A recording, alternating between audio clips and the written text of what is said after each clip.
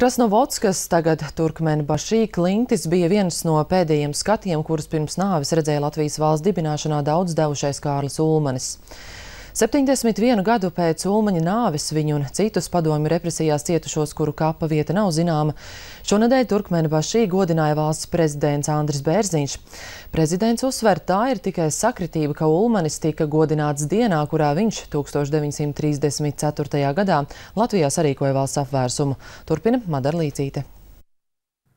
Pagaidām ir ļoti maz ziņu par Latvijas pirmskara valstsvīra ādus vietu Turkmenistānas piekrastes pilsētā, kas šodien ir pelēks un industrializēts naftas pārstrādes centrs. Viņai ir drošības čaļi, Latvijas vēsturnieki līdz šim divas reizes devušies ekspedīcijā uz Turkmenbašī 1992. un 1995. gadā, taču tās nav devušas skaidru atbildi tieši kurā vietā Krasnovotskas vecajos kapos Ulmanis ir abedīts. Šonadēļ brīdī, kad termometri stabiņš sasniedz 40 grādu atzīmi, emocionāli aizkustinošā ceremonijā baltas rozes ar lentu Latvijas karoga krāsās laika zobas kārtajā kapsētā nolika pašreizējais valsts prezidents Andris Bērziņš.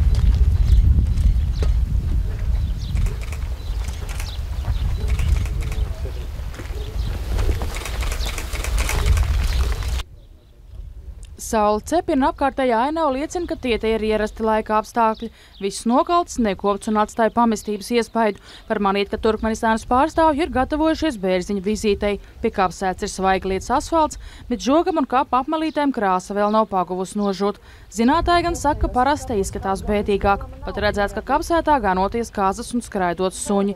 Vēstures zinātņu doktors Ainars Bambals, kurš pats piedalījies ekspedīcijās Ulmaņa kapa vietas noskaidrošanai, uzsver, ka bijušais valsts vadītājs tiešām ir apglabāts Turkmenbašī kapsētā, taču nav precīzi zināms, kurā vietā vairāk kā 3 hektāru lielajā kapsētā. Viņš tiešām ir miris tur. Un, un nu, jebkādām spekulācijām tālākām, ka viņš būtu kur citur, nu, šādas spekulācijas jau ir bijušas no 50. gadiem pagājušā gadsimta. Krasnovodskā Ulmanis nonācis 1942. gada 8. septembrī. Tur viņš atvests ar kuģi no Baku cietumu. Šeit pēc Vācu armijas ienākšanas PSRS bija nogādāta virkne politi izlodzīto un vēlāk cauri Turkmenistānai tos bija plānots sūtīt uz Sibīriju. Taču Ulmaņa veselības stāvoklis pasliktinājās un tādēļ viņš tika ievietots Krasnovodskas cietuma slimnīcā, kur 1942. gada 20. septembrī mira. Jāsaprot, ka šī vasara 42. gada bija ārkārtīgi karsta. Kārlis Ulmans bija nu, dušīgs vīrs. Tāds, ka latvieši sākās no 100 kg, piebildīšu, ka 66 gadu vecumā viņš svēra 116 kg. Un, un šis karstums milzīgais, tas, ka viņš, viņš bija, nu, kā saka, ražants un nu, grūti viņam bija. Grūti bija arī, arī protams, gadi darīja savu un, un ļoti strauji viņš, viņš sagūda. Jādara viss, lai šāda vēsture vairs neatkārtotos. Iznākot no kapsētas, sacīja Andris Bērziņš. Viņš jau pagūst saņemt kritiku par to, ka Ulmani godināja dienā, kad viņš 1934. gadā apvērsumā sagrāba valsts varu. Prezidents atzīst, ka šī datuma izvēle ir tikai sakritība, jo oficiālo vizīti organizēja Turkmenistānas puse. Tur nekāda sakara, ka es pat neiedomājos par tādu. Jā.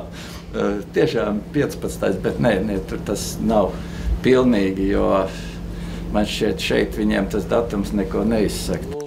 Vēsturnieks Bambals pauž pārliecību, ka ātrāk vai vēlāk kava vieta tiks atrasta, taču līdz tam nepieciešamas jaunas vēstures liecības. Jauki, ka mūsu valsts prezidents nolika ziedus uh, tieši šajā kapsētā un ir piemiņas plāksne. Nu, protams, varu arī savu pozīciju kā vēsturnieks teikt, ka Varbūt tas datums daudziem asociējās ar Kārļa Ulmaņa apvērsām 34. gadu, un, un no šī viedokļa nu, varbūt tas nebija izvēlēts pārdomāt. Ja?